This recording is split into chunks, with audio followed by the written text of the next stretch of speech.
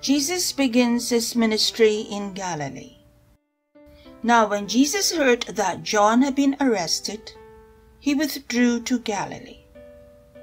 He left Nazareth and made his home in Capernaum by the lake, in the territory of Zebulun and Naphtali, so that what had been spoken through the prophet Isaiah might be fulfilled.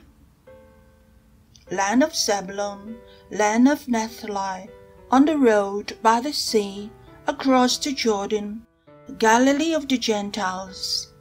The people who sat in darkness have seen a great light, and for those who sat in the region and shadow of death, light has dawned.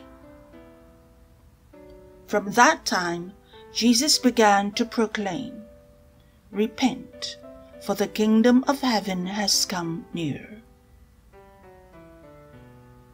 Jesus calls the first disciples. As he walked by the Sea of Galilee, he saw two brothers, Simon, who is called Peter, and Andrew his brother, casting a net into the lake, for they were fishermen. And he said to them, Follow me, and I will make you fish for people.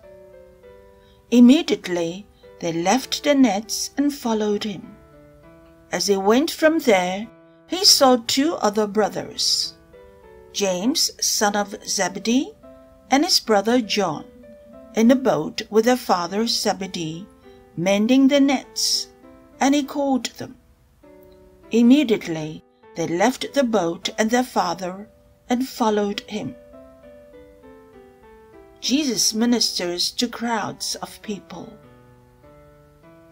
Jesus went throughout Galilee, teaching in the synagogues and proclaiming the good news of the kingdom and curing every disease and every sickness among the people.